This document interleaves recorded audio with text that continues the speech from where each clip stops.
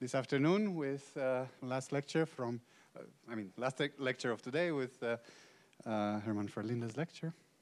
Okay. Um, yeah, so um, every uh, lecture I kind of start still with a little bit giving you uh, a bit of the big picture and, and the motivation.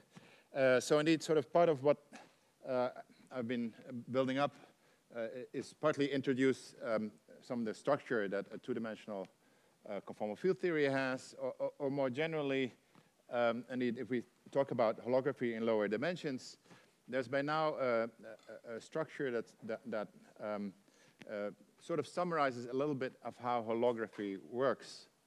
Um, so let me still, yeah, maybe paradigm is a little bit of a, a heavy word, but it's sort of a, way in which we're thinking about it is the following, is that there is sort of some theory, uh, which is the thing we would like to understand, uh, which is, uh, it could be a string theory, uh, indeed, let me call it string theory. Um, and it has all kinds of detail, uh, and it allows you to do computations, and it will indeed include quantum gravity, but it will also include all kinds of microscopic information. Uh, and if you were to be able to uh, compute exactly in this theory, and you start asking what is the spectrum of excitations in this theory, it will include also black holes, and, and it will have a discrete um, energy spectrum. Uh, and you can understand gravity simply as a, a low energy mode of the, of the string theory. Uh, and then ADS-CFT, or at least holography, uh, sort of at the microscopic level, uh, would give you here some kind of very detailed um, holographic CFT.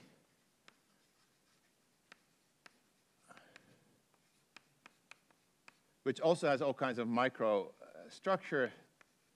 Uh, and then uh, there is some kind of uh, uh, exact um, duality between these two systems.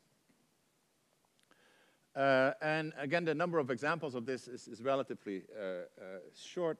Uh, again, we have n equals 4 Yang-Mills if we go indeed up to 3 plus 1 dimensions. And here we have strings on ADS 5 times S5. Um, uh, but then it's still a little bit mysterious of how um, uh, sort of this dictionary of why, why it works. but now it turns out actually that, that there's sort of a, a way of thinking about um, uh, holographic CFTs, where indeed, again, uh, let me still draw that picture, where we have some detailed spectrum uh, with funny, uh, yeah, um, irregularities, but still with universal properties. Uh, and then there is actually, in, in many cases, um, uh, some kind of universal um, low energy field theory, um, which is sort of the, the soft mode and I can call it uh, an effective field theory. Um, and indeed, in the case of two-dimensional holography, um, the soft mode is associated with the conformal transformations. Uh, and, and, actually, there was a, um, a, a description that I gave uh, of the conformal transformations uh, that, that will allow you to start understanding what this soft mode really is. In terms of either these complex uh, coordinate transformations or in terms of actually this field that I wrote down earlier, which I called sigma. But let me maybe not go into the details of this yet. But the idea is that um, the way you arrive at this theory, this is sort of a universal theory. This is a, a more specialized theory.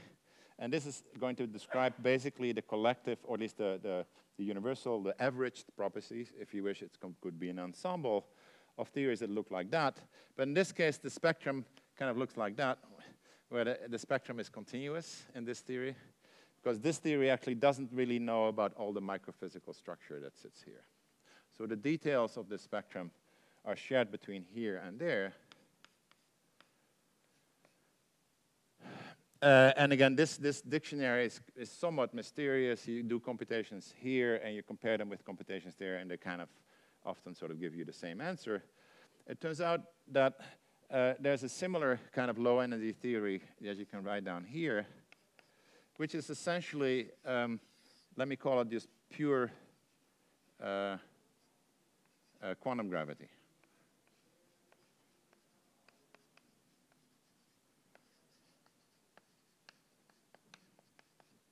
Now, this looks a little bit uh, uh, suspicious uh, because quantum gravity is notoriously hard to sort of define, uh, and we don't know how to quantize the Einstein action in a way that gives us a, a consistent uh, a quantum field theory. At least we don't know how to do that in three plus one dimensions. But in two and uh, in three, in two plus one dimensions, so in three total dimensions, or in one plus one dimensions, there are actually gravity theories that, want, that, are, that are actually purely soluble systems. Um, and so low dimensional in, in, in 2D and in 3D, pure quantum gravity actually exists.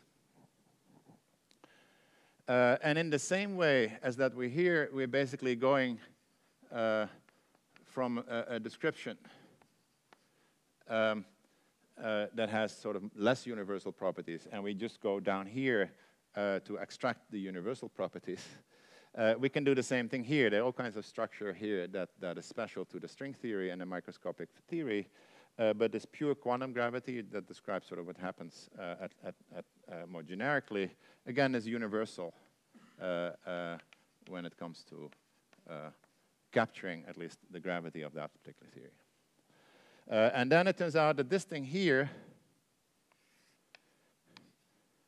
is, is, a, is a mapping that still can exist, and this mapping is almost um, manifest.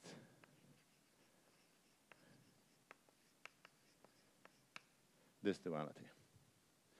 Uh, and it turns out that these gravity theories are such, uh, and this is special to three dimensions to some extent and two dimensions, uh, because gravity in two plus one dimensions for sure, uh, and also gravity in two dimensions, as we'll see, uh, does not have any local gravitons. It doesn't have propagating modes.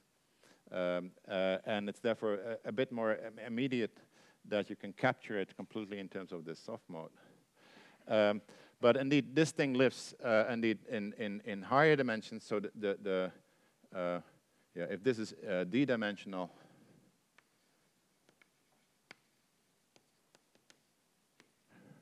this thing lives in d plus one dimensions.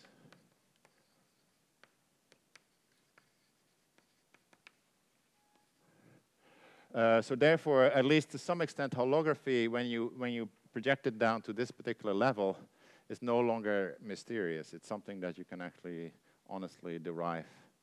Um, uh, and, and that's slightly surprising, perhaps, uh, because uh, this thing here uh, is often what we call a strong weak duality.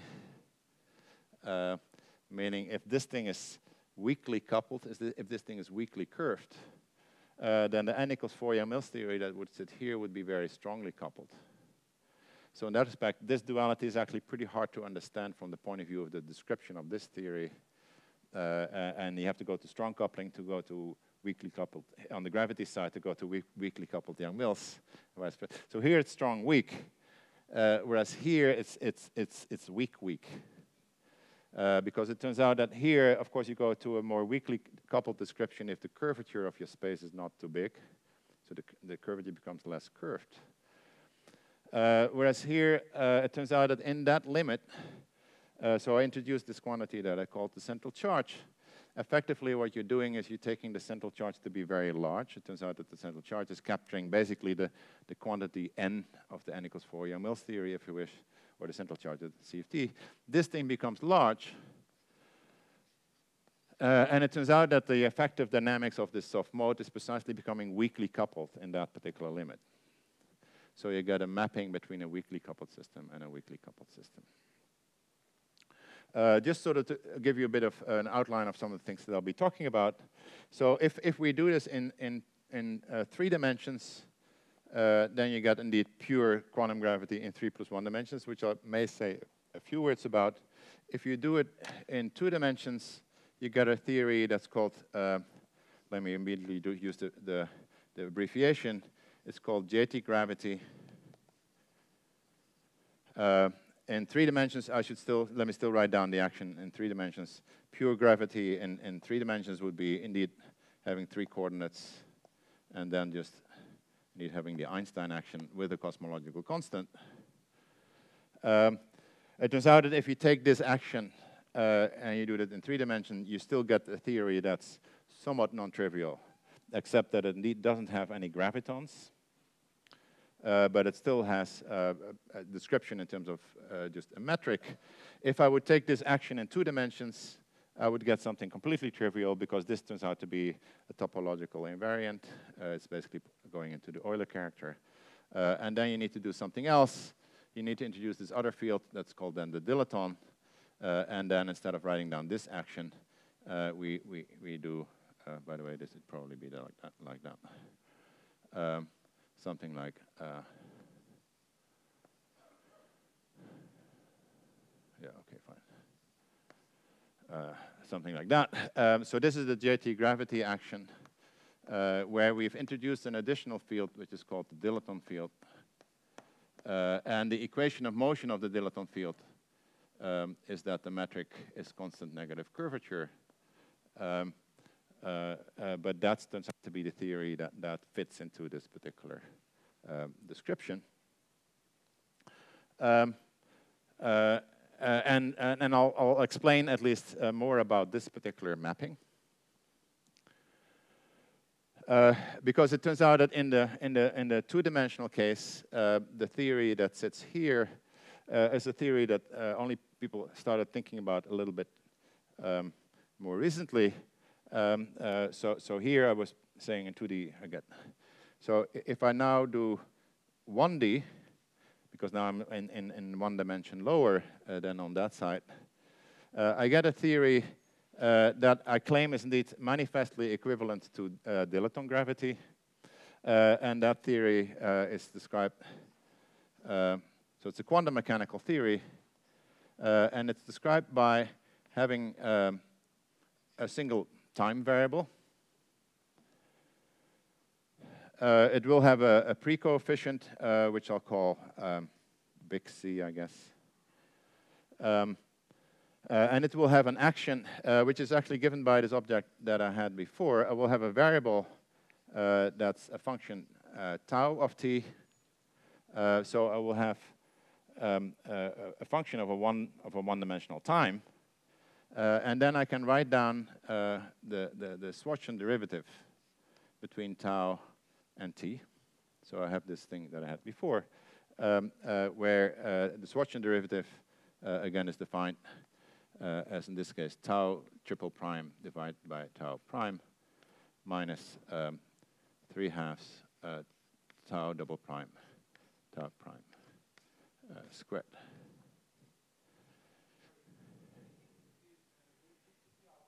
Yeah, right. you mean here? Yeah, right, you're, you're right. Let's do the same thing here. Yeah, I was hesitating whether I want to call this thing the two form or the, the scalar. Uh, but okay, fine. Um, um, thank you. Any other questions at this point? So this is just basic. Uh, so later I'm going to tell you more about how to actually solve this theory and how to relate it uh, to this particular theory. Um, uh, so this theory, again, lives in, uh, in two dimensions. Uh, and this theory essentially lives on the boundary of that theory. Uh, so indeed, there are a couple more details to this particular theory that have to do with the fact that I want to indeed be able to put this theory um, in, in, a, in, a, in, a, two-dimensional space-time. indeed, because of the equations of motion, sorry, there should be a plus sign here as well. Is that correct? Yeah. Uh, that r is actually negative if lambda, if, if lambda, okay, it depends on whether I call lambda positive or negative, but for an ADS space-time, if lambda is, uh, the, is minus lambda is the curvature of the ADS space-time, then indeed this will tell me uh, that, that um, uh, the, the, corresponding geometry uh, is a constantly curved, negatively curved space. Uh, and um, I'll talk more about that uh, tomorrow. Um, but just to give you at least a, a, gist of how these two things are related, it turns out that if you indeed put the um, space-time, indeed uh, this two-dimensional space-time, and you, and you, draw it on a, on, a, on a disk, because this is basically the Euclidean, uh, it's called the Poincare disk. You saw the picture actually in the slides that uh, Jan had, uh, where you had the, the, Escher drawing on this thing. If this is ADS2, um, basically the boundary, the volume blows up, uh, and, and, and that's sort of this, this hyperbolic plane. Uh, but then it turns out that what you actually need to do is you need to uh, allow for the boundary to be slightly off the infinite boundary, and you have to allow for this, basically the space-time to fluctuate, uh, to, for its boundary to fluctuate. Uh, and, uh, and since there are no degrees of freedom in the interior, uh, all the degrees of freedom are sitting basically in this fluctuating boundary, and it turns out that that degree of freedom is captured by this thing here. Uh, and this is called Schwarzian quantum mechanics.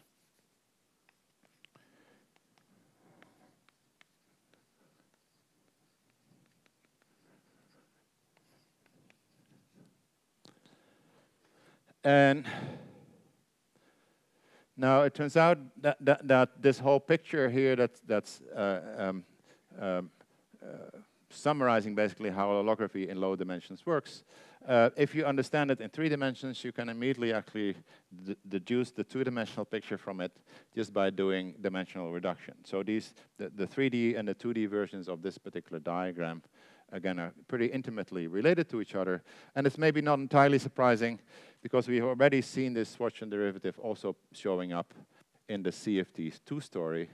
So uh, this is CFT D. So when D is 2, uh, this is two-dimensional CFT.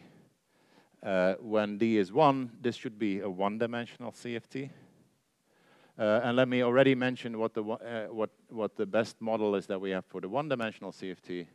So it's either a, a 2D in 2D, it will be two dimensions. Uh, it will be, um, again, a CFT. In 1D, uh, it's called the SYK model. Uh, and the SYK model is a, is a given model whose Hamiltonian I will actually be able to, uh, to describe for you.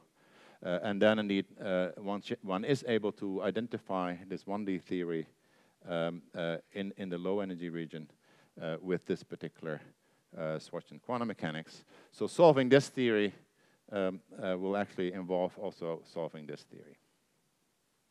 So that's sort of the landscape uh, of, of, soluble, low-dimensional um, holo holographic models. Are there questions about this? Yes, a bunch of. Okay. Uh, yeah,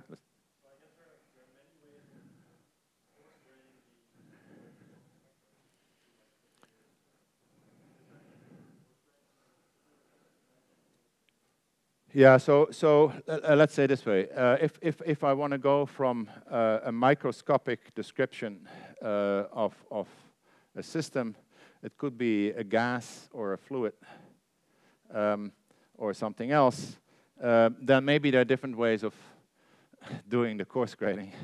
Uh, I, could, I could sort of average over all possible fluids that I can write down and then keep, keep the average theory as being my, my coarse grain theory or I can integrate, I can average over a certain amount of time. Uh, or, or uh, there are all kinds of averaging procedures that one could do. Um, I would say uh, one of the surprises a little bit of this particular um, uh, duality I would, uh, is, that, is that, that uh, this theory actually still, although it's sort of the effective description of that, it turns out this is still a quantum theory. It's not that I've taken h bar to zero, literally. Uh, C is large, but I keep C finite, and it turns out that there's a lot of structure even uh, at finite C. Uh, so I would say the self-consistency equations that this thing has to satisfy, and need descent from self-consistency equations that this thing has to satisfy.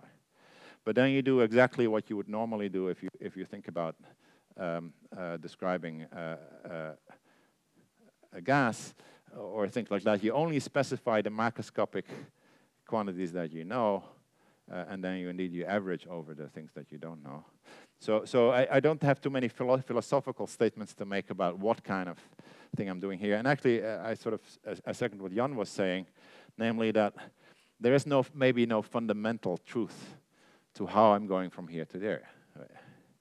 Uh, at, at, the point that I'm here, I, I no longer care necessarily. I've, I've given up on, on actually capturing the full fundamental theory because I, I'm no longer uh, have the ambition of being able to resolve all the all the microstructure that sits here. And um, uh, and so again, this is an important part of the philosophy. Is that again, in, as a high energy physicist, or you hope that we will be able to find exactly which theory describes our world. but by now we kind of are becoming to become becoming more modest, where we say, hey, do you know what? We want to understand sort of the, the, the large-scale features of our world already at the quantum level, and just we want to make sure that there some might be something that exists of this type, but we're not going to literally specify it.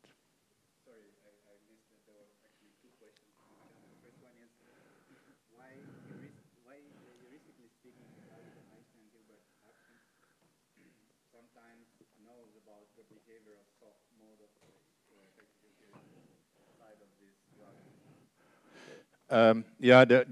the, question is about the heuristics. I would say the, the heuristics here is, is, is, sort of in this picture, and I'll give another example actually in the 3D case, uh, in the 2D, 3D, in the 3D gravity case. So, so I'll, I'll, I'll get to that question in the, in the course of this lecture.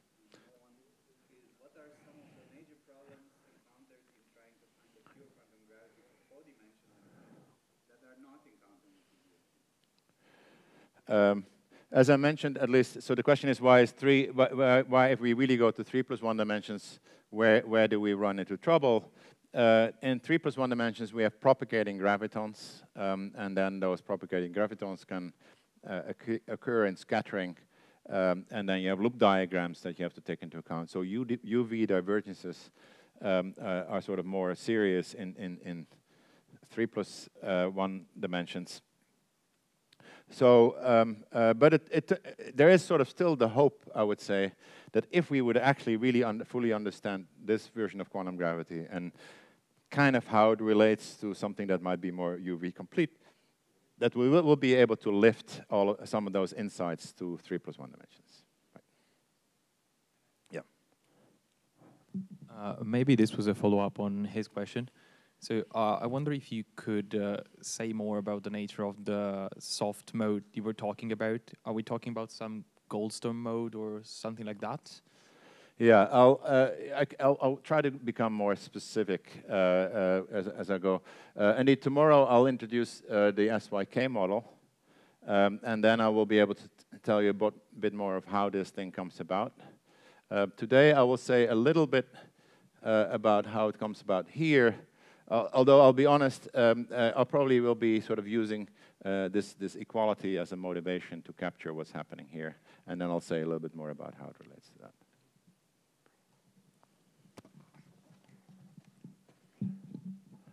Uh, can you say uh, again what is the universal relation between string theory uh, and pure quantum gravity I mentioned before? Yeah, so, so what I mean by universal is that um, again, it's, it's a common uh, property of string theories that, that, that if you have the closed string, uh, that the massless mode in the closed string is a graviton. So, so all string theories, at least in, uh, in a pretty large class of them, uh, have gravity as a low energy theory. Um, uh, and, um, and, and typically what might happen is that the low energy spectrum of the theory will have gravity, and, and then this is often why I, draw these few lines here. So I always have this sort of this universal part of the spectrum. Uh, and if you recall, by the way, uh, when I was doing this thing with the modular transformation of, the vac uh, of this vacuum character, in the end I was only integrating over this part of the spectrum. So this part of the spectrum is where basically where the gravity sits. Um, and this part of the spectrum is, is, is, is most universal. Uh, the light degrees of the, the light uh, fields in string theory often still depend on the string theory. So there are non-universal parts in the low energy theory of the string theory that may contain particles that are specific to a given string theory. But if I'm interested in the universal aspects of all these theories, for example, if I write down a black hole solution, and I don't care too much about which matter fields are there present as well, then the, the, properties of black holes are common to all the theories that have the same gravity theory. Uh, and then in that case, there is, there actually is actually a quantum theory over here that captures uh, a lot of the properties of those black holes. Uh, and, but this gravity theory you should not take completely seriously because this thing is only an approximation to that. And this is also an approximation to that. The slight surprise is that, that it's not just uh, in, the, in the classical limit that you can do gravity, you can still do quantum gravity on, in, in this lower in this lower corner. By the way, uh, five years ago, or maybe six years, five years ago, I was invited uh, to give a talk, um, don't tell anyone, at the Loop Quantum Gravity. Conference. And um, and actually, I, I, gave them olive branch. I indeed presented this particular diagram. I said, okay, yeah, we, we, guys, at least we string theorists, are sitting here. Um, uh, and, and, and we sort of take this one seriously. Uh, you guys are sitting here. Um, uh, and uh, and I, am going to tell you, and this was six, six, seven years ago, uh, there will be a time where string theorists will start to think about this, and, and currently they are, uh, uh, indeed about sort of how to do pure quantum gravity. Uh, so we're all sort of essentially part, being part of the same program of trying to understand what's happening. But string theorists realize that this is not the complete answer. The complete answer sits here. Uh, and, and, and indeed, you, there's a lot to learn from thinking about quantum geometry of how it works. Uh, but uh, it, there's also a lot to learn from the inside that this is actually an approximation of a much, a much more complete and fine-grained UV uh, theory. Okay. Um,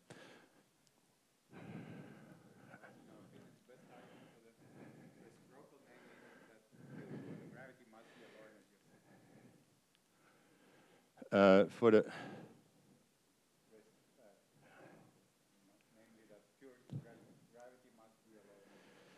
uh, let's say this way, because I don't think that, although there are many, uh, there are actually ways of deriving um, sort of black hole entropy from this.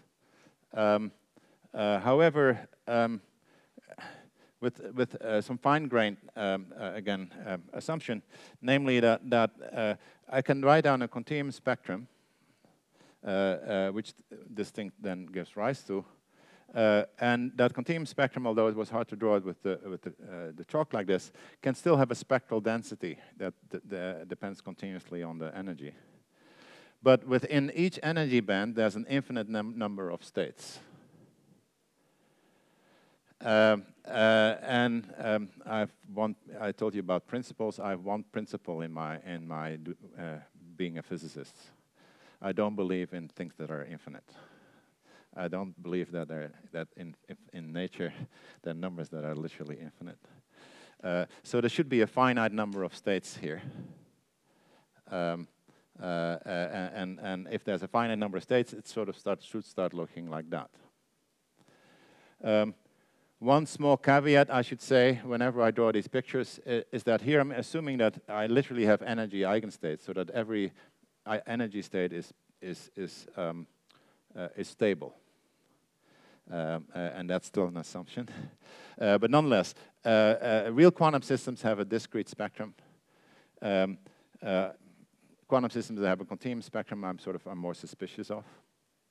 and that's somewhat related to, again, wanting to have finite answers when I compute things like entanglement entropy or entropy. I want entropy to be finite, and then there should be a more a better UV description. Okay, so uh, maybe in, uh, uh, uh, for the interest of time and also sort of to, to, to go to a more specific description, and indeed there was this question of how do I understand how um, uh, to go from uh, this side to that side, where is the soft mode? Let me give you an example indeed in two plus one dimensions. Um, so, um, okay, now I need to briefly get a formula, which I don't want to make a mistake in and I only have it on my laptop. I'm going to write down um, the black hole solution uh, in ADS space-time. Um, and um, I wrote down one version of it earlier, um, and then, give me a second, I have to find the name of the file.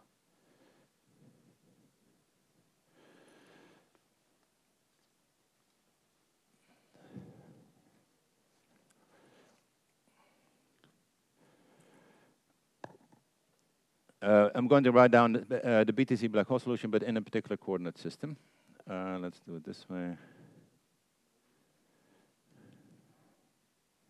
Here it comes. Okay, the S squared.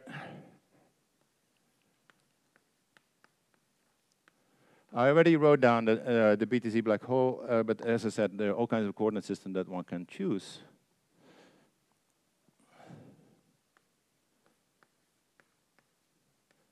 And there might be even be slightly different ways of writing down essentially the same thing. Um, uh, t times t, so t u u t v v.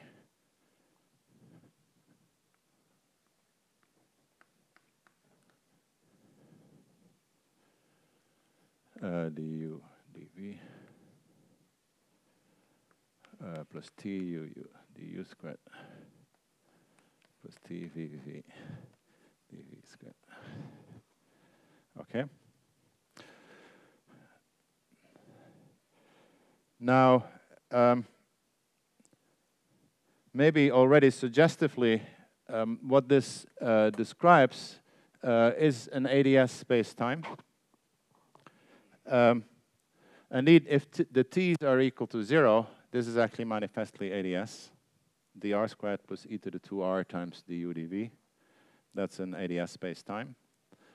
Uh, so what I've done basically here is I've taken the um, the CFT and I've turned on a stress energy tensor.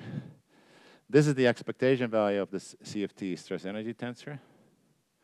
Uh, for the left movers, this is for the right movers.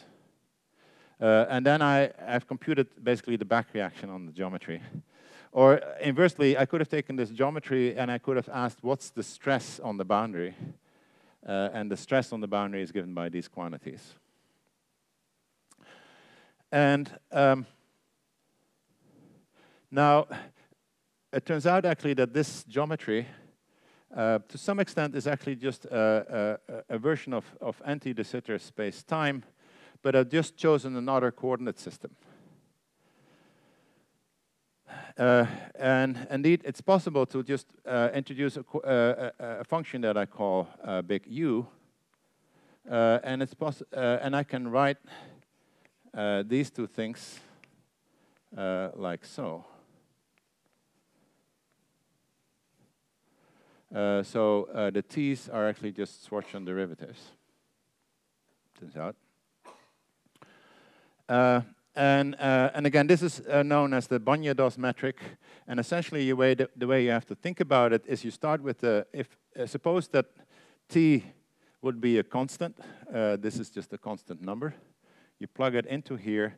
Then actually, you're going to find um, that this is equivalent to the BTZ black hole um, and, and perhaps not surprisingly, uh, where's my uh, thing?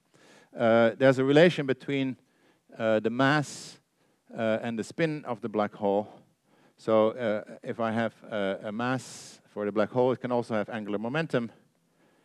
Um, it turns out that the following rela relation is true, that if I just integrate TUU if this is on a, on a ADS spacetime with a cylindrical boundary, I integrate this over the cylindrical boundary, boundary I get m plus j, uh, and I can um, do that integral.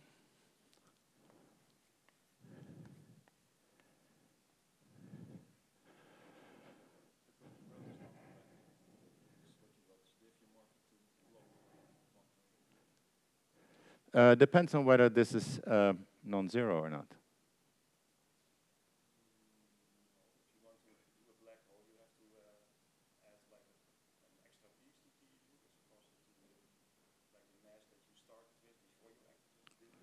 No, the thing is that if this if this integral is non-zero, um, then then I can, uh, then then then this is this is the BTZ black hole.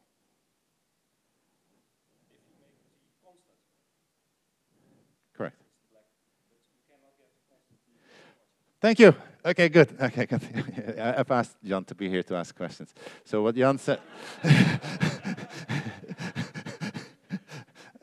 good. Uh, uh, so, so, so indeed, if t is constant, I can actually uh, not write it like that by means of a const by by means of a, a, a single value transformation. Uh, so, so, so, so if because I was implicitly putting this thing on a cylinder, uh, if u and v were single value transformations of coordinates on the, uh, on the cylinder, then this integral actually had to be equal to zero. You can show that. Um, um,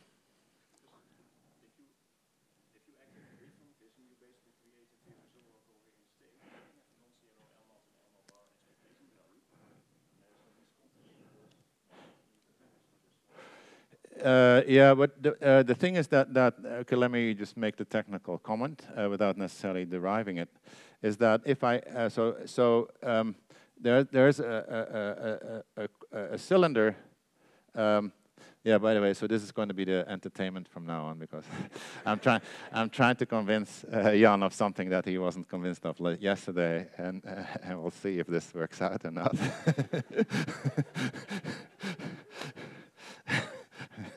Maybe he prevents me from even getting to the point. Uh, uh so, so uh, uh, indeed, if you go around the cylinder, uh, it's not necessary for the u and the v coordinate to come back to themselves. Uh, actually, it's not maybe that surprising that the uv coordinate can come back to itself up to one of these transformations that I wrote down earlier. So, uh, uh so if I have a um, uh, uh, an SL to Z transformation, SL to R transformation, and I have a multi-valued coordinate here, I claim that basically the quantity that I'm computing here is related to what's called the conjugacy class of this particular uh, SL2R matrix. Uh, and, and it's precisely these kind of boundary conditions that if you have a non-trivial boundary condition, so the way you get the BTZ black hole is to actually start with empty ADS, and then you take an orbifold basically, or you fold it up precisely by uh, allowing uh, the, uh, the coordinates to be multi-valued when you go around. Uh, and it's the BTZ black hole is parameterized by those, uh, by those parameters. Yes?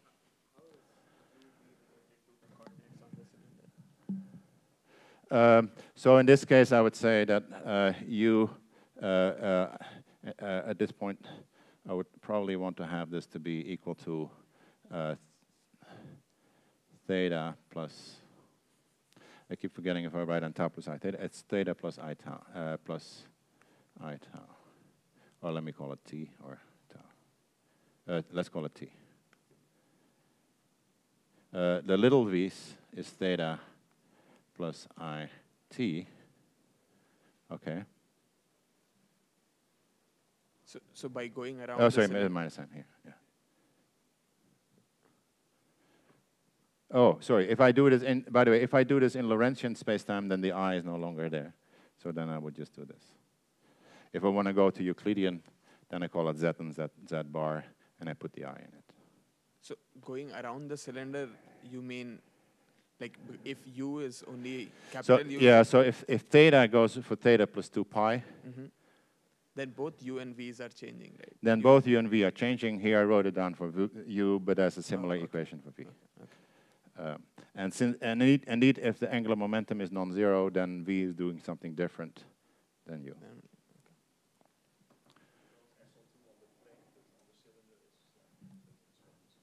Right, okay, good. Uh, yeah. Uh, oh, uh, because there might be a coordinate transformation in this. Okay, these equations are correct. Uh, and that's actually sort of important. Um, so,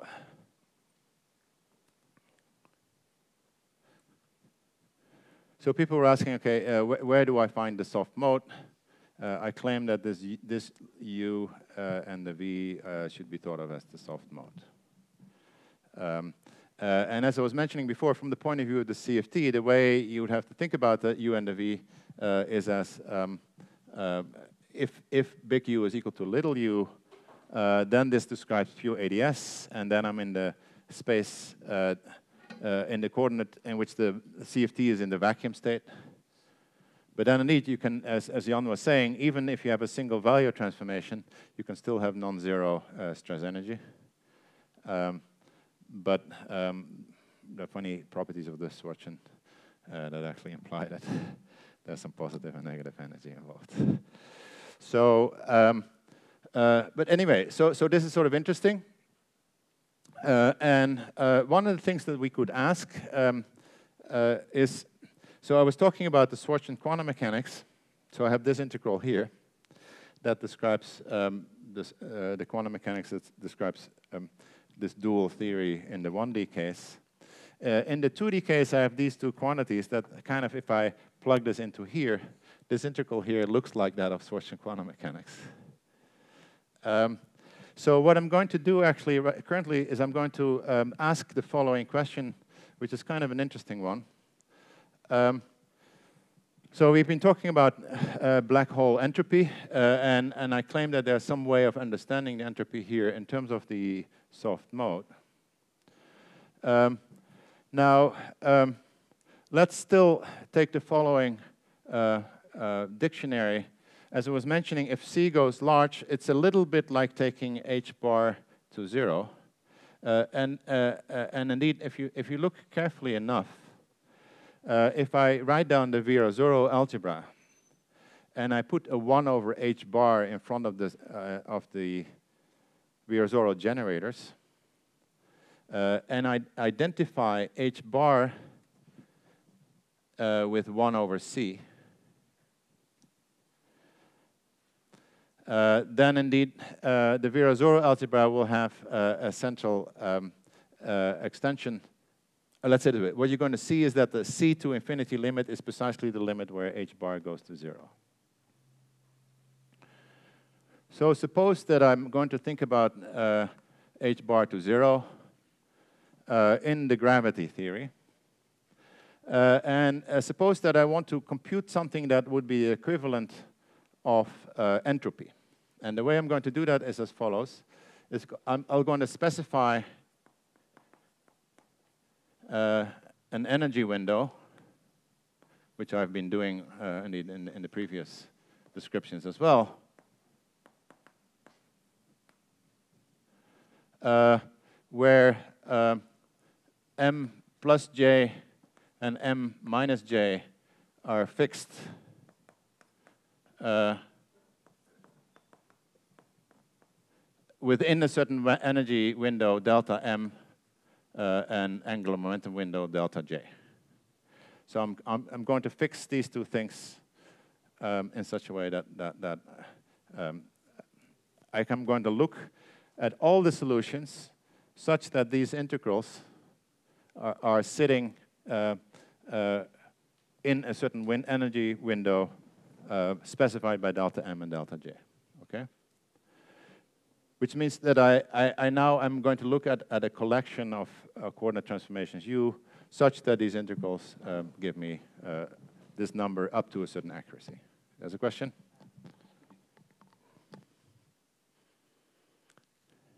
Could you repeat why h going to 0 is c going to infinity, or like that relation between h and center Yeah, let, let, me, let me see the, if I can get this thing right. So um,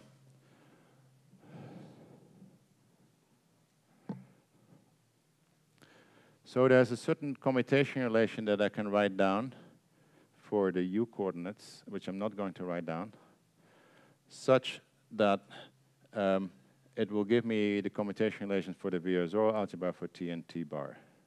Okay? Mm -hmm. um,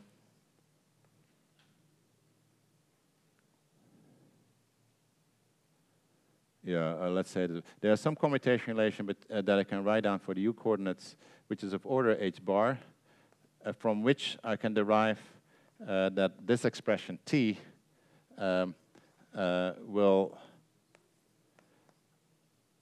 Okay, sorry.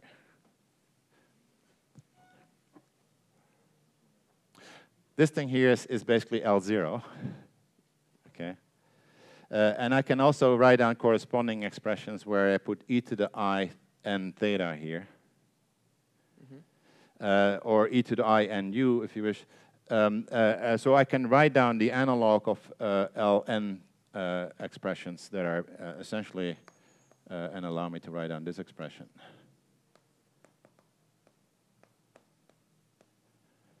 Okay.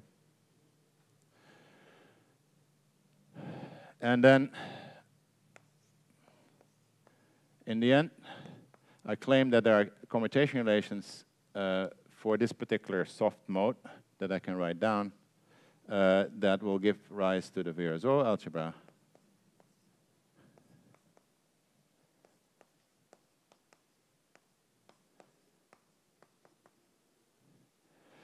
Uh, but actually, um, because it's a commutation relation, I would want to put an h bar here.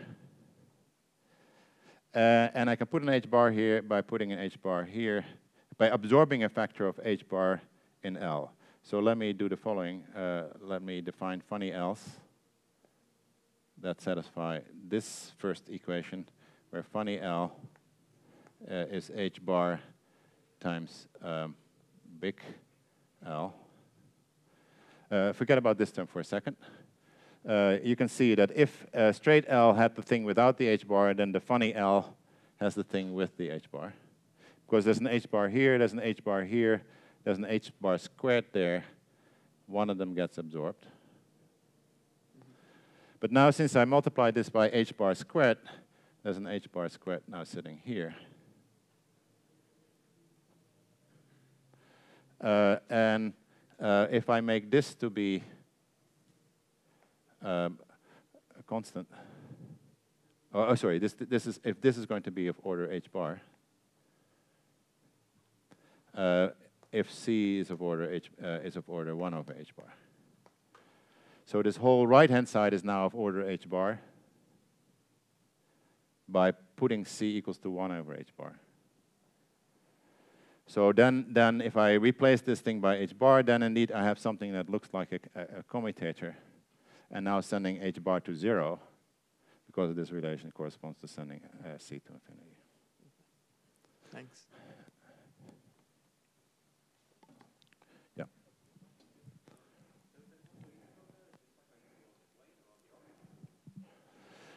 Yeah, okay, so, uh, this is getting uh, distracting. Um, so, so of course, what I'm doing here, uh, if you wish, um, here I was in, in Lorentzian uh, uh, coordinates. Uh, if I want to go to uh, uh, Euclidean coordinates, then I am, am in ZZ bar coordinates. Um, and and the contour integral that I'm doing there is actually in the in the complexified coordinate system where I'm contour integrating around the origin in the complex coordinate system. And since t is such a function of z, I can think about this basically as a, uh, yeah. Okay, thanks. But um, um, the key point that I'm making here is that, that, that um, uh, one can ask initially uh, about the, um, uh, this particular question. And the reason I'm, I'm sending h bar to zero here is because I want to do the following. Is um, uh, so let me er, erase this if that's okay with you, because I want to continue my story here.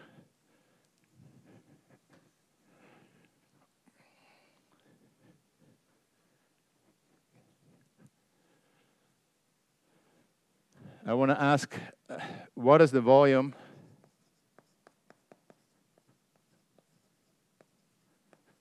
uh, of the space of all uh, solutions uh, of this type that fit in this uh, in this energy window. What I uh, claim is that uh, what I'm actually interested in is, is, is the phase space volume.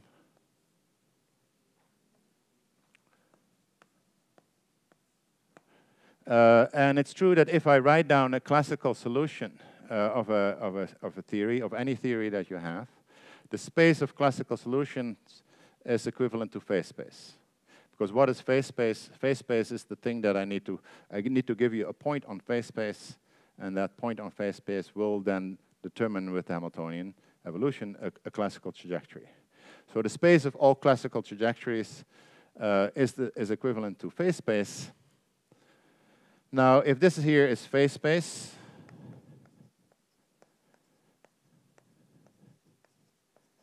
and I'm asking you to, to compute the volume of phase space, in classical statistical mechanics, that's actually another definition of the entropy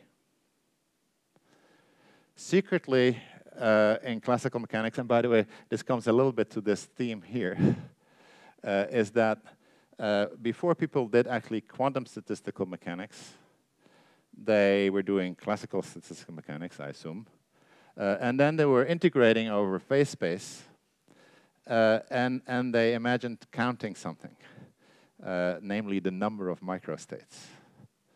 Now, if the number of microstates was actually supposed to be a finite nu number, then in their mind they were doing this. Um, but integrating over phase space means integrating over dp dq. But the way we integrate over dp dq is actually, uh, uh, nowadays, if I see dp dq, I always put a 2 pi h bar below it.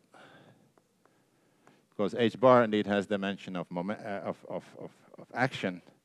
Uh, and this is how I integrate over phase space. So if I give you a phase space and it has a finite volume in h bar units, what does the volume of phase space tell me uh, in h bar units?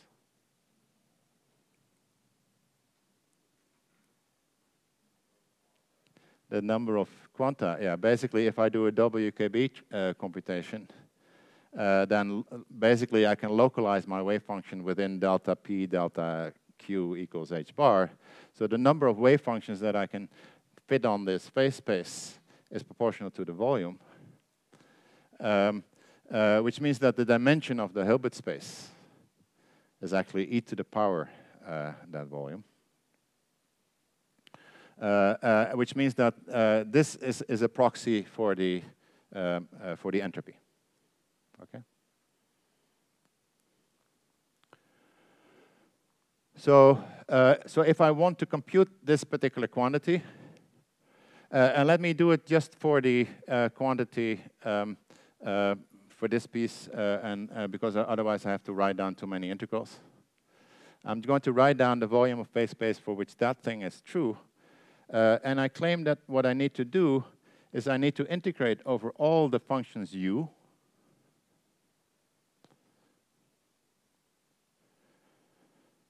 Um,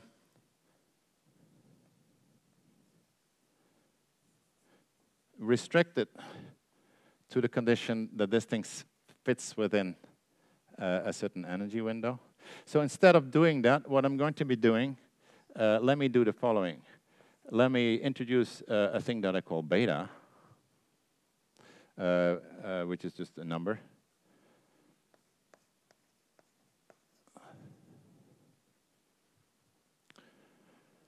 Uh, and suppose that I would know how to compute this thing. Then from knowing this particular function, which I can call z of beta, I should be able to compute the volume of the thing that sits within uh, uh, this uh, window. Let me call that volume. Let me give it a name. So the, the volume of the space of solutions, I'll write it down here for you. The volume would be, as I mentioned, it's e to the power of the entropy that I want to associate with that number times delta of m plus j. So if I get a number for the volume, I can extract an entropy from it. And I do that this particular. Uh, uh, uh, I, yeah, so, okay, are we good? Uh, it's multivalued use, but with a very precise multivaluedness. Namely, uh, use can be multivalued in this way, in such a way that this, is, this equation here is true. So this specified the multivaluedness.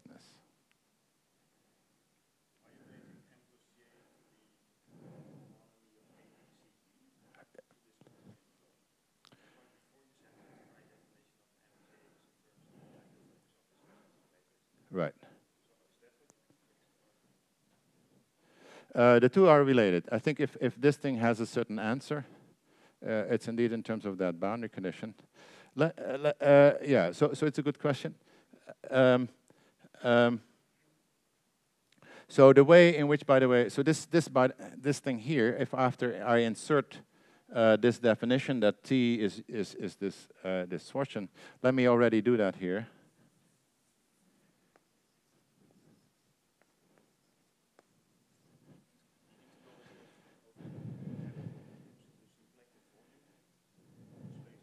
Correct. Correct. Yeah, so there's a symplectic, so here I'm doing a path integral. It's not a, it's not an ordinary integral, it's a path integral. Uh, and as Jan was saying, is that there is a particular measure that you have to put here, which is called the symplectic volume. Um, and, and, actually, previously, I did kind of explain to you what symplectic volume I'm using here. Uh, namely, um, uh, I'm going to um, put in the fact that this T has to satisfy the Virasoro algebra that implies a commutation relation for the use. And that's the corresponding symplectic form that I'm writing down here. Uh, and this thing here, by the way, is Schwarzian quantum mechanics.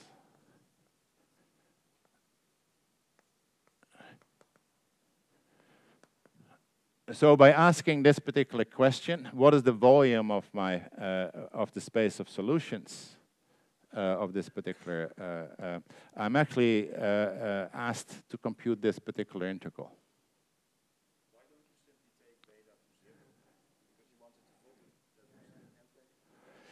Yeah. So so so um, uh, indeed. So what I'm going to do, indeed, I am going to take c to infinity, but I'm doing it in a special way.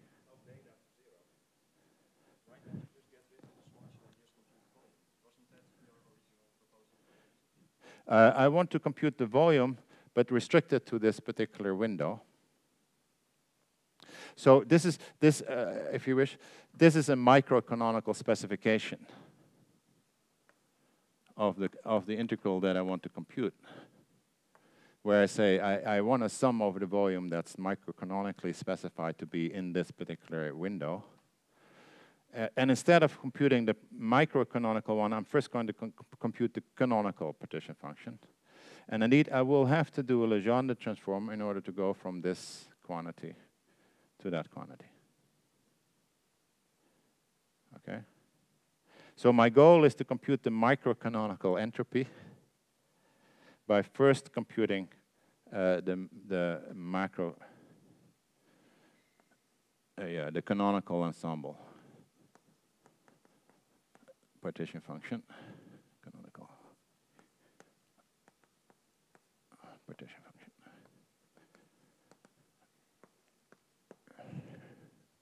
Okay. So I'm going to do that, uh, this, this computation for you, uh, depending on time. Um, I started at 1.30, at 2.30, half an hour. Uh, I don't want to sort of uh, rush too much, but uh, are, there, are there questions besides Jan?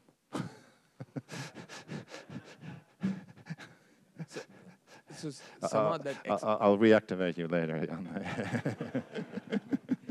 so the exponential is somehow supposed to implement this constraint of being in that m delta m plus j window, right?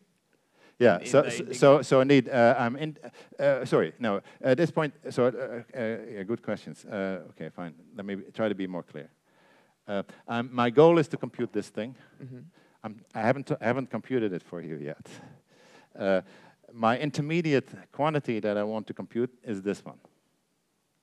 And then I'm going to tell you afterwards how to go from this quantity to that quantity. Okay? Uh, and, and the intuition is if I know this thing for every beta, mm -hmm. then just by doing the appropriate manipulation with this particular thing, I can compute for you what, uh, what the answer is to this particular question. This is, this is what you would call the microcanonical mm -hmm. partition yeah, function. Yeah and this is the macrocanonical partition function. And there's a standard way of going between the two. Yeah, my only question was somehow the exponential factor that you put in should help you, right, in computing going from set of beta. In some right. limit of beta, Yeah, since, since, since I want to be able to put a restriction on this yeah, particular yeah, integral, exactly. yeah. I'm just putting it there so that later on I will be capable of putting that okay. restriction in it, okay, into okay. it.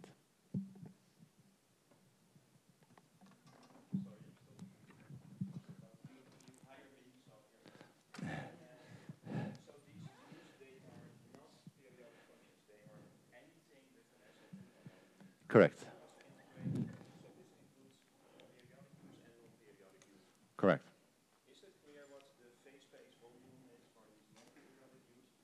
Because you said you use the Virasoro algebra, that gives you a particular phase space volume, but that is in a particular Virasoro orbit, but it includes many Virasoro orbits, and the volume in the direction orthogonal to a single orbit not follow naively from the Virasoro. Right, I'm using exactly the, the correct uh, symplectic form that's defined on the space of all orbits. Um, uh, that's the one I'm using here. Uh, that's done indeed by this integral. So in Schwarzian quantum, in, yeah, density of states that you that, that is where you have to put in something that does not follow from the Virasoro algebra. uh, it's the um,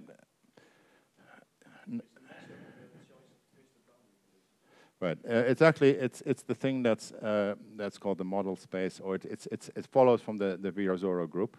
There's a natural measure on the on the Virasoro group, which indeed involves these these multivariate uh, boundary. Uh, right.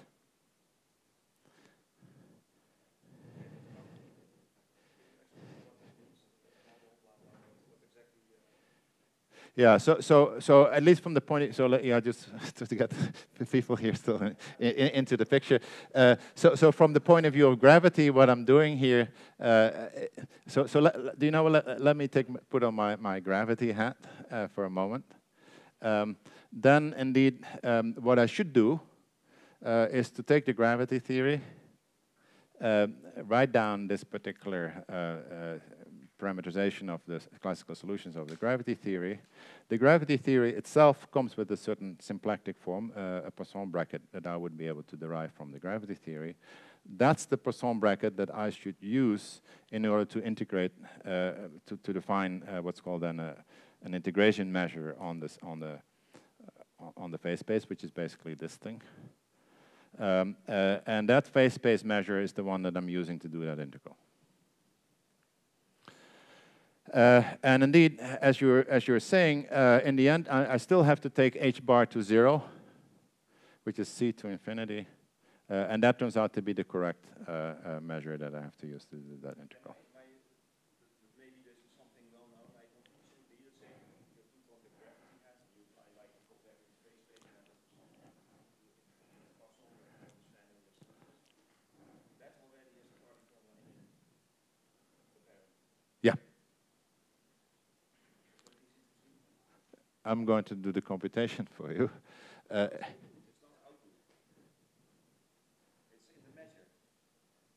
um, yeah, I'm going to do this. int- uh, uh, this, this, How can you do the integral? You you tell me exactly.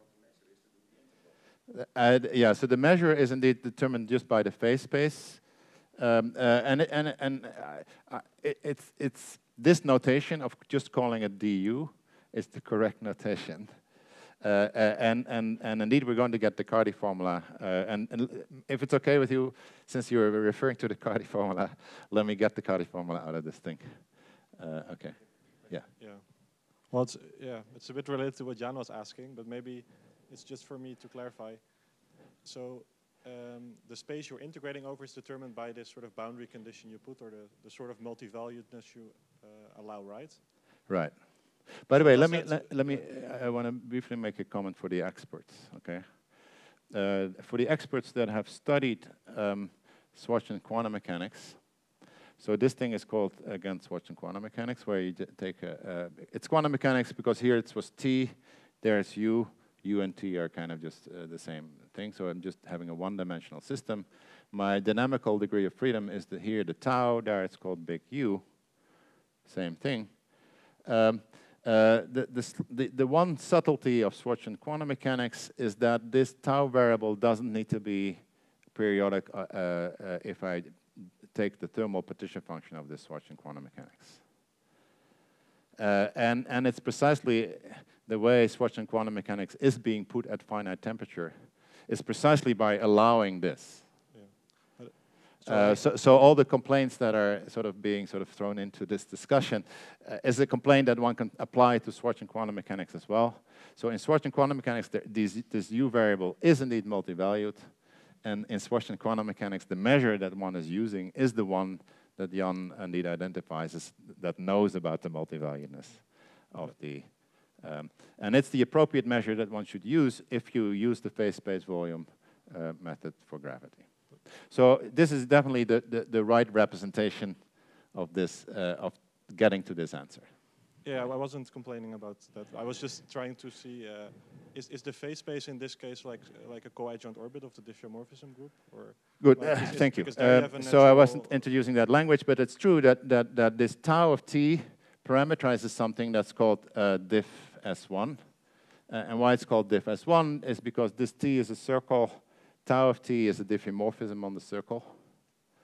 Um, it turns out that diff S1 is precisely also what we would call the Virasoro group. So the Virasoro transformation, uh, the, the, the conformal transformations, which were functions of transformations on a variable z, z, is also diff S1. Uh, and indeed, um, yeah, so, so, so the, the, the, the symplectic form is the one that you would naturally put on there. yeah, S1. there's a natural symplectic structure, I guess. So Uh, that's correct.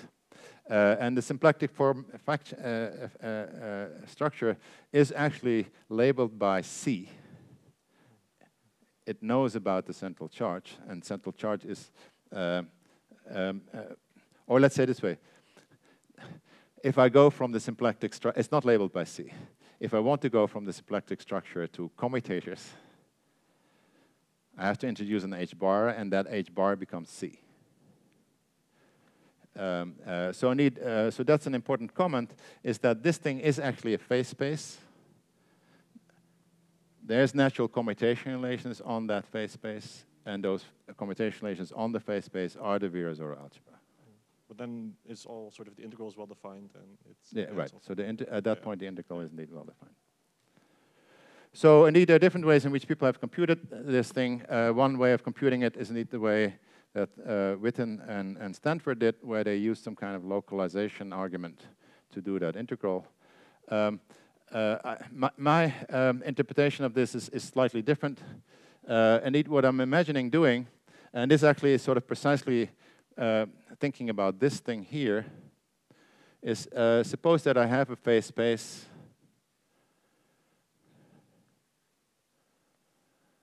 uh, and uh, suppose that I want to uh, compute e to the minus beta h of p and q. But uh, I want to compute this particular quantity. So I have, a, so this is briefly sort of uh, slightly more general. If I want to compute this, this particular integral, but I take h bar to zero, then indeed I'm doing classical uh, statistical mechanics. I'm basically integrating over the phase space dp dq over 2 pi h bar, say, uh, e to the minus beta hpq.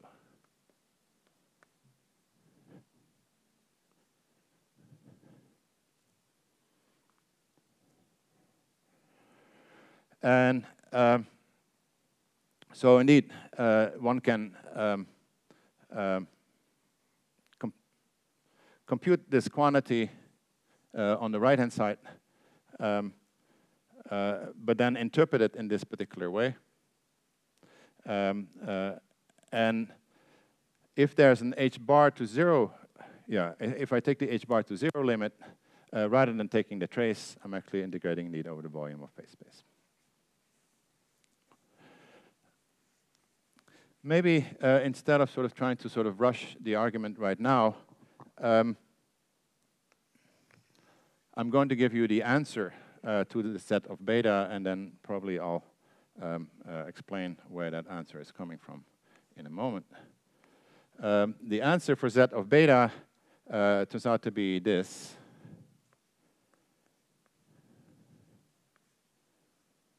Uh, times the pre-coefficient that I'm going to ignore. Uh, we'll explain later.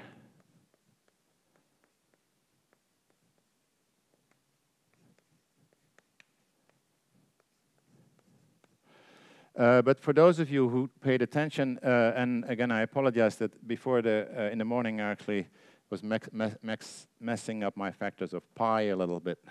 So I, I, at some point I was ignoring factors of pi.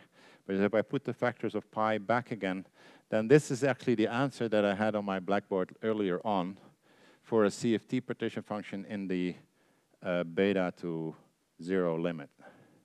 So a CFT partition function uh, with, with a certain, uh, sorry, there should be a, a coefficient in front of this thing. Uh, sorry. Um,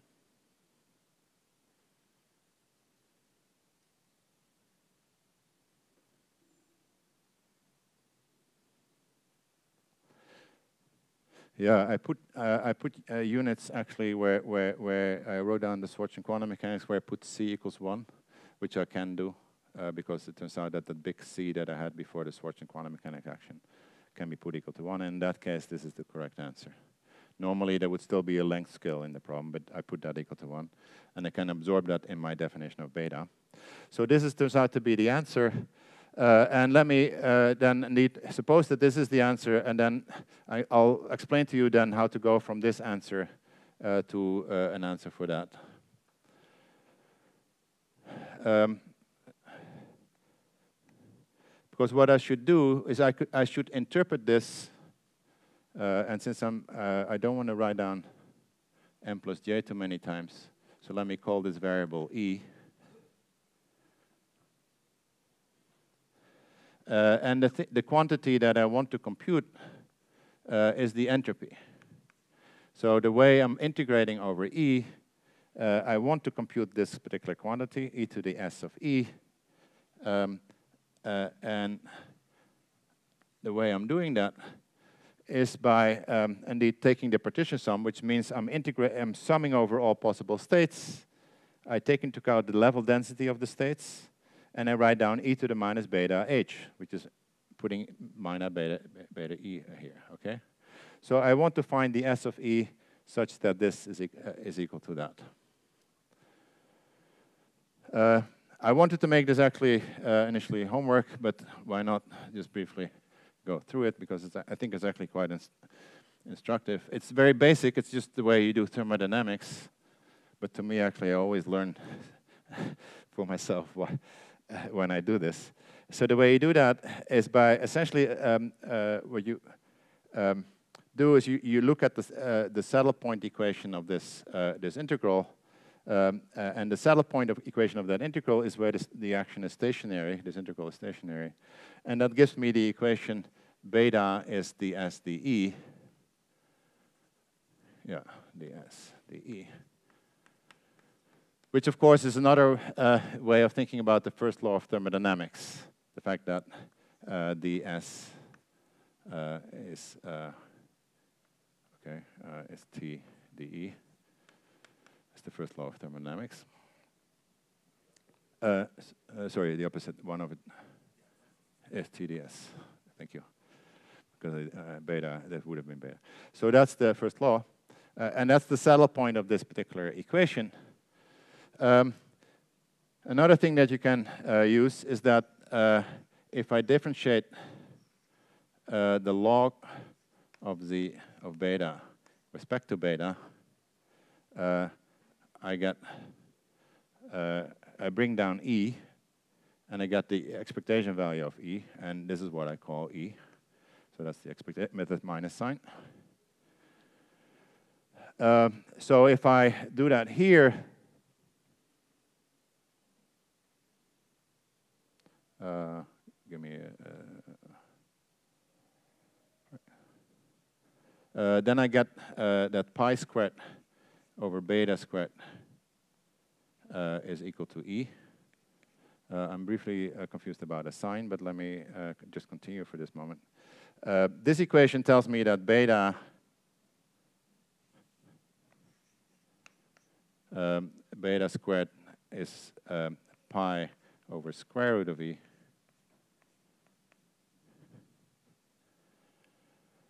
Uh, uh, and uh, from that, I get that S of E is 2 pi times square root of E. so indeed, what I'm finding uh, is that the entropy uh, of this particular system, so the thing that I've been computing, is the 2 pi of the square root of that quantity E. Uh, and indeed, if I now start putting in uh, the various values uh, of the um, um, the values of the central charge and all that into this ex expression, this is actually the Cardy formula. in the Cardy formula, if you wish, we also had this square root of the energy in there. and it's precisely true uh, that the Cardy formula indeed is, is, is a way of measuring uh, the volume of phase space of the solution. Now, uh, why is this actually an unusual um, uh, result? Um, um, uh, before I get to that, if you want to ask the question, Uh, yeah, good. So I didn't follow the logic there. Means here, what we were supposed to do is somehow show that that integral would give us something like dE exponential SE.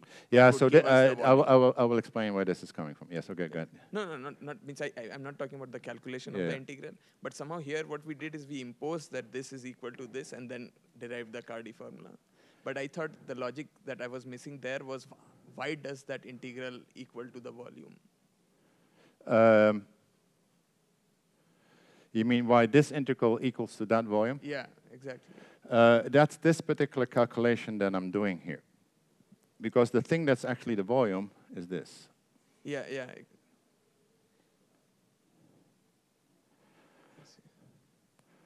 Um, so, and, and that's this equation. Yeah. Um, so, so the volume of phase space is e to the power of the entropy times dE. Yeah. That So I'm interested in computing this quantity. yes. But I first compute this quantity. Mm-hmm. Uh, but the way you go from this quantity to that quantity is by indeed finding the S of E so that this is equal to that. And how do I do that? I require, first of all, that I go to the saddle point. I do the first law of thermodynamics. That's evaluating the right-hand side through the saddle point approximation. And then I require that beta is chosen such that this quantity is true, that this equation is true. I see. Because I want to relate beta to the energy. Energy. Okay. I see. Okay. Uh, and then, so, so now if I can use this equation then to eliminate beta in terms of E. I go back up here and I get S in, in, in terms of E. So then it turns out that if I take this S and I put it in here and I do this integral, I get that quantity. okay. It.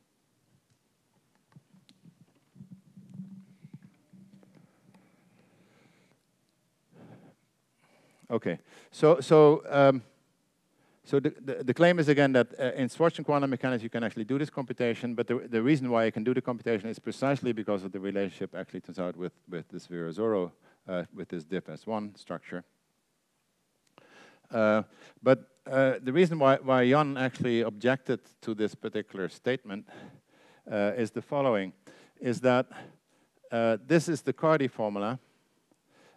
And um, typically, at least when people explain what uh, the relationship is between um,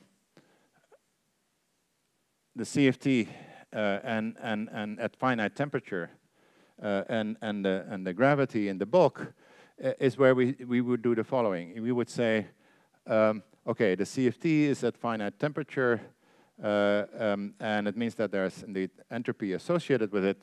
And Cardy has told us how to compute that. Now we go to the bulk, uh, and then in the bulk we actually have a black hole, and then we don't know anything about the entropy initially because we don't know which degrees of freedom are describing the black hole. The only thing that we have is the Bekenstein-Hawking calculation. Uh, and the Bekenstein-Hawking calculation is one where we just take the black hole and we compute the area of the horizon divided by 4. Okay?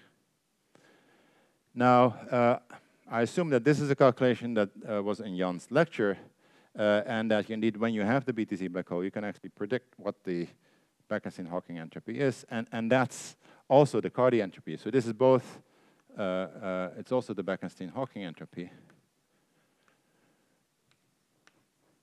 I should say that I've, I've done one little trick that I should have mentioned to you uh, here. I've taken C to infinity, which means that I've taken the ADS space-time to be um, very large. The curvature uh, indeed goes, becomes very big.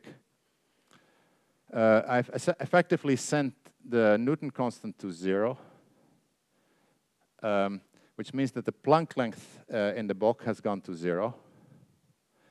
Nonetheless, I wanted to keep the entropy of the, of the black hole finite. So, and this is actually an, uh, an, uh, an additional explanation to, to Jan also, namely that, that uh, so, so this statement that the, the entropy, the, the Bekenstein-Hawking entropy and this volume are related is only sort of uh, under control in this h bar to zero limit. And the type of black holes that we're looking at here are the ones that basically are very small in ADS. I'm taking the g Newton to zero, but the entropy of the black hole remains finite. Uh, so in, in, in, in, in shrinking Planck units, the entropy is still a finite number. Um, but then even that is still a surprising statement because typically what people are doing when they're talking about the entropy of a black hole is that this is the information that's hidden inside of the black hole. Uh, and we're thinking about the black hole as a black hole, uh, as, a, as a black hole should be. We want to think about a black hole as a black hole. Now, what is a black hole? You throw stuff in it and it goes away. This here, the T's, are things that are parameterizing the soft modes that sit at infinity. This is stuff we can see. Um, so if you think that stuff that's in hidden inside the black hole is actually hidden inside of the black hole, I'm telling you that, that I, can, I can account for the stuff that sits inside of the black hole by just counting the entropy of, it, of something that sits outside of it. Um,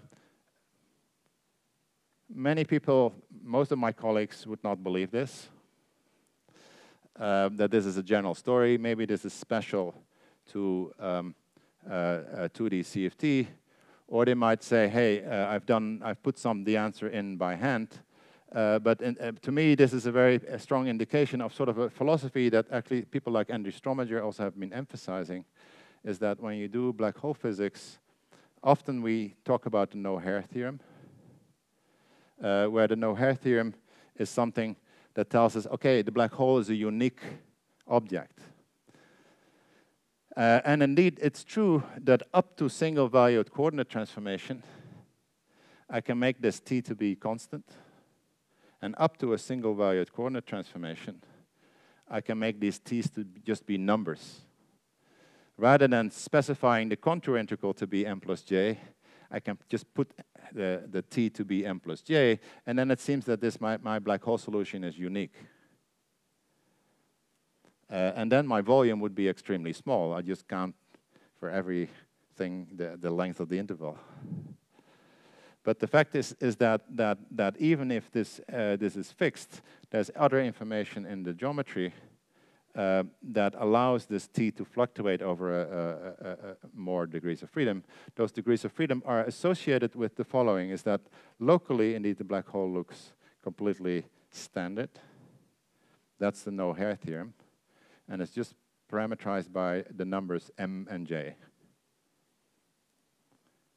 Globally, the space-time has an asymptotic region. Asymptotically, I can also make the, the space-time look like ADS3. But there's a coordinate transformation between the local coordinate uh, region of the black hole and the asymptotic region of the ADS space-time. And that coordinate transformation is, is, is what this thing is doing. So this thing is parameterizing that coordinate transformation. This is something that we call a soft mode because it's captured by the whole space-time. Uh, and I've computed for you how much information there is, how much entropy there is in the soft mode. And the entropy that sits in the soft mode uh, is actually um, a good quantitative measure of the entropy that we would associate with the black hole. So this is food for thought um, uh, because most a, a, lot of people would sort of think about again entropy of black holes sitting inside of it, uh, whereas actually, for those of you who have thought about heard about islands, maybe this thing should perhaps look a little bit less surprising.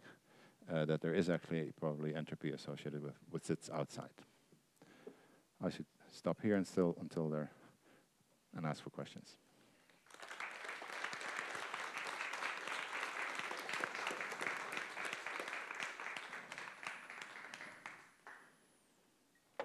Questions?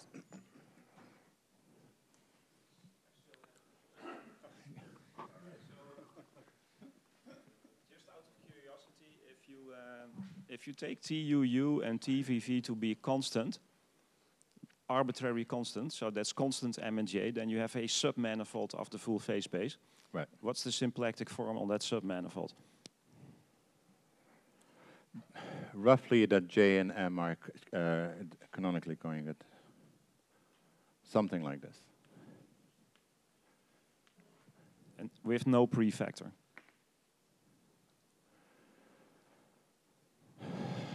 There's not Uh, secretly a Bekenstein-Hawking entropy prefactor sitting in this thing. No. There's no Beckes, no, right. Because Bekenstein Hawking goes with an exponential or something. Because you want to put an e to the s here. Uh, and it's Yeah, yeah, yeah. No, just uh, Yeah, uh, yeah, so- so, so you claim it's just the M wedge DJ. Yeah, uh, yeah, yeah. If you if you want to turn the symplectic form into a commutator, or if you want to normalize it, then it would be have a. I'm not sure. So this mixes left and right movers. This is like DL not wedge, DL not bar. Yeah, this tells physically what this tells you is that if you put a mass here, uh, I'm creating a conical deficit. So M rotates. Uh, at least it's dual to two rotations. Uh, so that's why this this is the natural symplectic form uh, that sits on the. Uh, if you just restrict to that to those things, yeah, that's right. If that's the right symplectic form, and in the orthogonal directions, you just have Virasoro basically, because for M, each M and J, there's just periodic. Uh, uh, you can take periodic U and V, right? So you can roughly uh, write everything in terms of. Uh, Right. You can parameterize uh, everything in terms of a constant M, a constant J, and a periodic U and a periodic V. That, that also parameterizes completely this set of solutions. Uh, yeah, but uh, so, so, you don't. The, the restriction that to u equals constant is is is a uh, yeah, and it's a special one. Yeah. Yeah, no, but I'm I'm saying if you if you allow yourself to start with a constant m and a constant j, and then act on it. Uh, yeah. Now let's say this way: the part where you where you are right uh, is that if I would instead sort of ask, what is the measure integration measure on uh, on the A B C? Uh, oh, sorry, this should have been in D. Uh, on on on the space of conjugacy classes of SL2R. So as you as you know, uh, if I take the functions on SL2R, uh, then indeed I generate a measure on the space of conjugacy classes of SL2R, or, or in the space of representations, if you wish. That thing is called the Plancherel measure. yeah.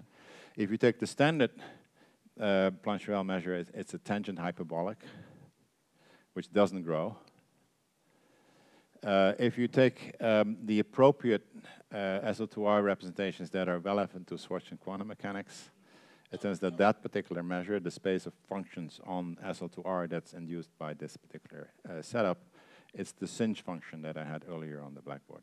So the sinh is the entropy. So, thi- so this is uh, uh, one formula. Turns out that the slightly more uh, um, um, uh, exact formula is that the total density of states uh, is the sinh of 2 pi times squared of E. Uh, and this thing is indeed the, the, the what's called then the Plancherel measure on the group.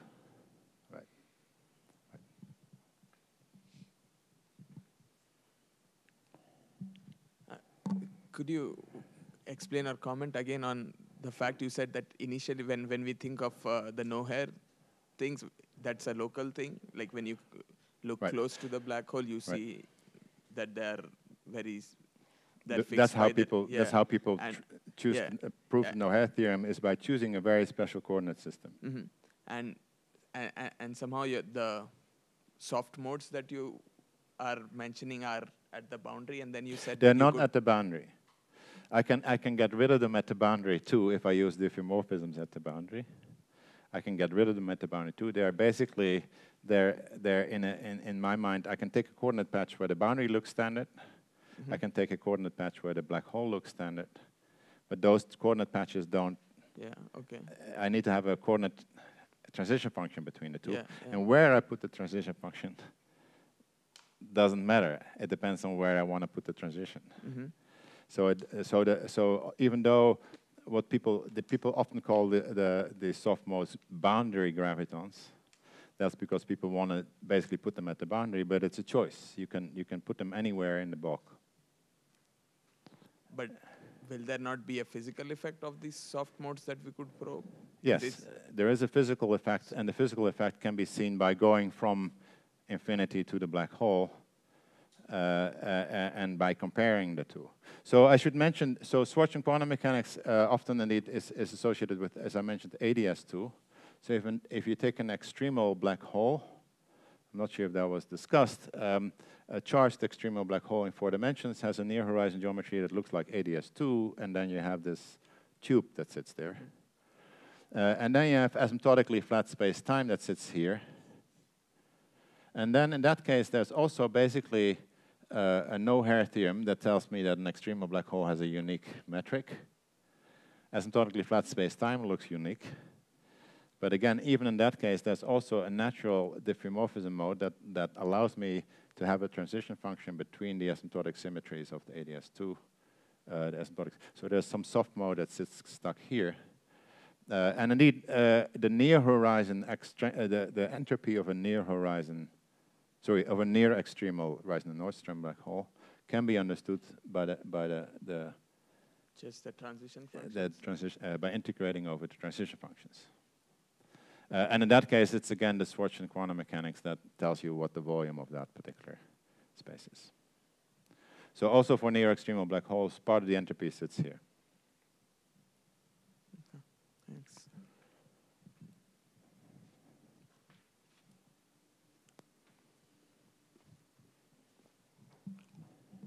Sorry, I'm still a bit confused about the nature of the soft mode. So, I mean, I, I mean, this is probably wrong, but so I, I f- so uh, the way I'm understanding that it arises from the holographic uh, uh, CFT uh, by some kind of uh, symmetry breaking at low energies. Is that right? Um, uh, basically, it arises. So so le let me still make the following comment. So, so indeed, if if we have um, a black hole, um, uh, when the black hole is present, um, that's actually when when the when the soft modes uh, get a non-trivial action, uh, and you can kind of see it here as well. Uh, to some extent, this beta is the temperature of the black hole, and the presence of the beta implies that the, the modes actually have a non-trivial action. So, so another way of thinking about it, perhaps, is that because of the presence of the black hole, we, we have created a reference frame, Yeah. yeah. uh, which is where the, the thermal equilibrium takes place. Uh-huh. Uh, but because of the thermal equilibrium, uh, um, if we want to have a constant energy density, that constant energy density is only constant in one particular coordinate frame. Uh, and therefore, if I now start applying coordinate transformations on that state, then those coordinate modes become soft modes. Okay. Uh, so it's in, it's in basically the energy density of the finite temperature system, or the energy density, or the presence of the black hole in the bulk, that breaks yeah. uh, the diffeomorphism invariance. Okay, and so like the um, like the T's are parameterizing coordinate transformations, but so they since we have we we are, have this reference frame, they become like a, kind of a goldstone for uh, instead of just being a pure uh, gauge. Uh, yeah, correct. Okay. Uh, indeed, because of the presence of the reference frame, uh, they become a goldstone. That's correct. And that's how soft modes basically come about in the gravitational setting. Okay, so uh, and uh, so in this so in this box that you drew, like the the other th the other fields, the other degrees of freedom that are in the holographic CFT, uh, so do they decouple? The Very good. Okay, uh, that's a very good question. Um, so, so as I, that's, that's part of basically this, this arrow that I had earlier in my diagram is that, that, that how, how does this particular universal physics, which focuses on the gravity part, gravitational part, interplay with the other modes that might be there. Now, uh, for sure, if there's, for example, uh, a gauge field in the bulk, then the black hole can be charged. And then what you definitely include the gauge field and the charge of the black hole in, the, in this whole analysis. So all massless fields should certainly be, be included in this analysis. Um, as soon as you have sort of things that are sort of massive particles, um, then uh, they may give some corrections to this story to some extent, although from the point of view of the CFT, one should be able to understand them really still in terms of operators in your theory, it still fits in the same framework. Uh, but certainly from the point of view of the bulk, here we're just uh, deciding to focus on the, on the piece that's gravitational. And the, the justification of this is that certainly when there's a black hole present, then most of the physics near the horizon is just purely gravitational. Um, and, and, that mirrors the fact uh, that the coarse-grained properties of the spectrum are very universal and they don't care about what happens with the light particles that you have in your theory. Okay, thank you very much.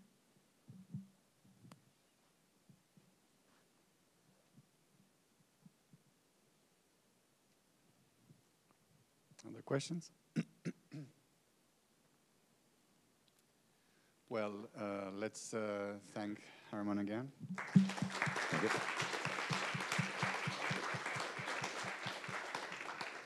And to remind you, after the coffee break, we have more questions, so you can think up more questions and exercises. And then also remember tonight at 8, there, there's the dinner at Bovino's. You have the map um, in the email from Humberto.